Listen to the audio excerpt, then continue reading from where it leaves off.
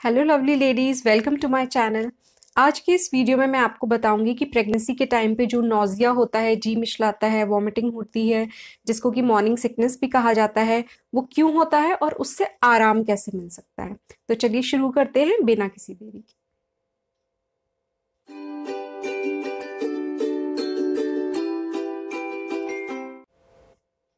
Pregnancy के time पे ज़्यादातर महिलाओं को सभी को तो नहीं, लेकिन ज़्यादातर महिलाओं को जो प्रेगनेंसी के शुरुआती महीने होते हैं, जो अर्ली प्रेगनेंसी होती है ख़ासतौर पे पहले तीन महीनों में, काफ़ी नोज़िया होता है और जी मिचलाता है उल्टी भी होती है।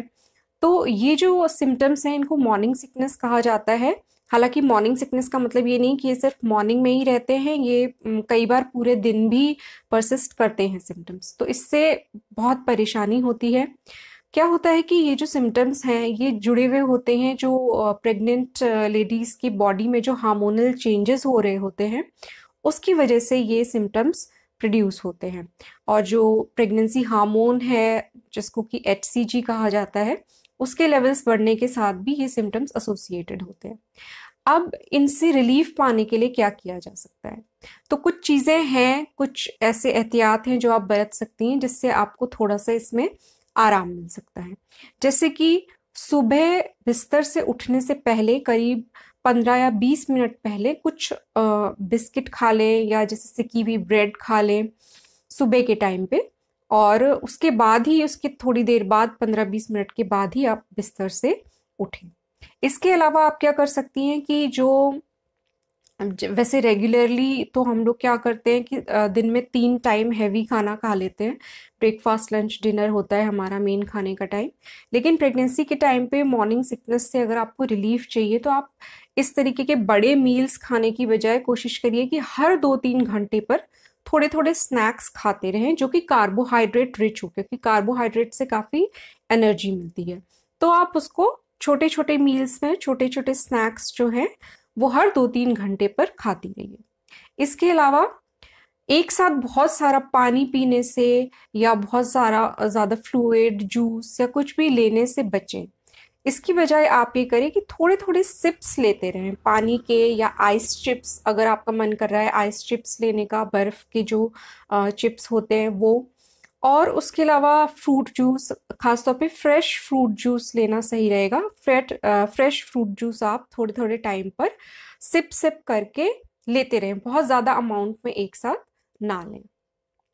इसके अलावा खाने में आप जो बहुत ही तली भुनी चीज़ें हैं या बहुत ज़्यादा स्पाइसी चीज़ें हैं और या कोई ऐसा खाना है जिसमें बहुत स्ट्रॉन्ग महक है जो आपसे टॉलरेट नहीं हो रही है, इस टाइप के खाने को आप अवॉइड कीजिए। ठीक है? इसके अलावा आप अदरक चबा सकती हैं। अदरक से कहते हैं कि इसमें जो ये नोज़िया और सिकनेस होती है, इसमें थोड़ा सा आराम मिलता है। थोड़ा सा अदरक का रस ले लें या थोड़ी सी अदरक का टुकड़ा थोड़ा सा चबा लें, उससे भी आपको थोड़ा इसमें आराम मिलेगा। इसके अलावा जो प्रोटीन जो रिच प्रोटीन वाली डाइट्स हैं, जो थोड़ी हैवी होती हैं, उनको आप सोने से पहले वाले अपने मील में लें, ठीक है? इसके अलावा अगली चीज़ जो आपको करनी चाहिए मॉर्निंग सिकनेस से रिलीफ पाने के लिए, वो है कि प्रेगनेंसी के इन शुरुआती महीनों में जब तक ये मॉर्निंग सिकनेस होती है, आप बहुत ज़्यादा रेस्ट करें, खूब रेस्ट करें और बहुत अच्छी स्लीप लें। काफ़ी सोने की कोशिश करिए और रेस्ट लेने की कोशिश करिए, ठीक है? तो ज़्यादातर तो ये जो मॉर्निंग सिकनेस होती है, ये सिम्टम्स जो हैं, ये शुरू के तीन महीने ही रहते हैं, ज़्यादातर महिलाओं में। और उसके बाद ये अपने आप ही गायब हो जाते हैं या कम हो जाते हैं।